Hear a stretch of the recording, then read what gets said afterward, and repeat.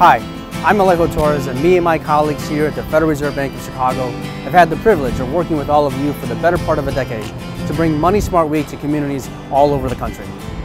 Together, we've built an expansive network of financial educators and supporters alike. We've collaborated on programs and resources to maximize impact. We've leaned on each other for best practices and innovative ideas.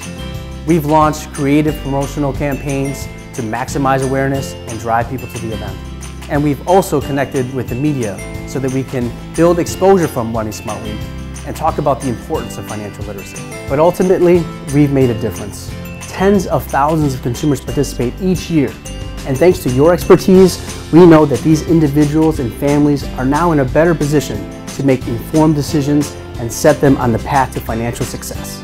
From local community banks to our national partners and everyone in between, you have all contributed greatly to this growing and thriving movement. We thank you, and we hope you love Money Smart Week just as much as we do.